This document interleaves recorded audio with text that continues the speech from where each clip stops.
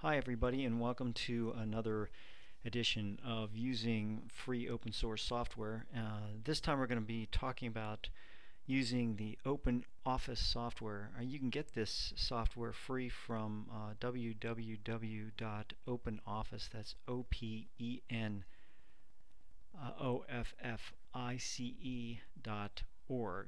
That's www.openoffice.org and you can download this and then what will happen is is you'll be able to get your uh, get your your, uh, your software that way. What we're going to talk about today is uh, just doing a very simple statistics aspect. And uh, as you can see what I've done is I've loaded this at your at the open office calc. And uh, this is a bunch of test scores. Uh, somebody didn't do too real, real, real well with that 34 and then I'm going to add a couple of columns. The first column I'm going to add is the five number summary, which is uh, something you learn about in stats. And uh, the first thing we're going to do is go over to the function tab, and you can see the function tab there. Uh, and then we'll click on that, and we'll go down to the min, which will give you the minimum score. So you click on that, and then you select all those scores from A2 to A11 and then hit enter and what will happen is it'll give you the minimum score. The minimum score is 34. The next thing we want to do is we want to do a quartile. So remember Q1 so we're going to do a Q1 and what we'll do is we'll select that those test scores again to give you that to give you the, the data and then where it says type TYPE we're going to delete that and we're going to put in a 1 so that'll give you your first quartile quartile 1 uh, Q1 is what they call it. And that's 67 the next one's going to be a Q2 but you can do that either either through the quartile or you can actually do it through the median which is your which is your second quartile your Q2 so your median score you'll click on median you'll select the scores again and you'll hit enter and that'll give you 72.5 as the median. The next thing you'll do is you'll do a Q3. So that'll, again, you go to quartile, double click on it. That'll give you the quartile. Select your scores, and then you'll see the type. So you're going to put in the type, which is this time is going to be a 3. So when you, and then hit enter. And that'll give you your third quartile. So the final thing you're going to do is you're going to get your max score, your maximum score. Max is there. So you double click on it. Select your scores again, A2 to A11.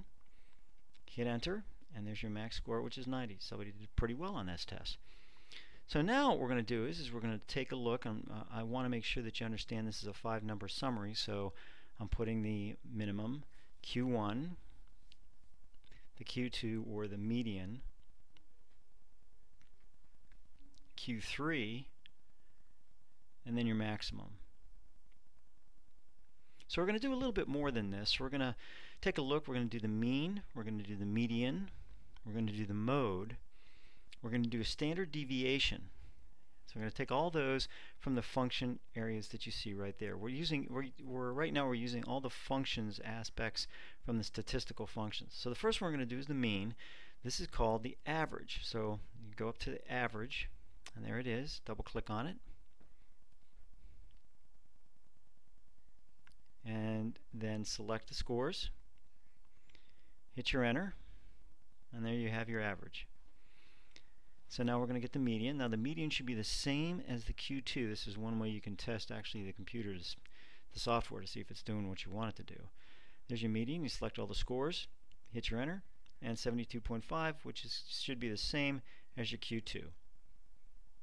And then you're going to do your mode, and that'll pick out the scores that occur the most in this set of data. And that's 67, and uh, finally, we're going to do standard deviation, which is a, a very long, uh, very long formula. If you're going to do it by hand, we're going to do it by using the actual um, OpenOffice Calc, which again is free, and it's it's very easy. I, I went through the uh, standard deviation, the standard deviation A, standard deviation P, all those just to let you know what those were like. And pick STD EV, select the scores, hit the standard deviation, and that's what you get. And finally, I want to do one variance. Now, variance should be the square of the standard deviation. So we'll see if we'll see if that's correct or not. So we'll do the variance. There it is. Double click on it. And then you select the scores and then hit the enter key. And if you take uh, the standard deviation, square it, you're going to get the variance.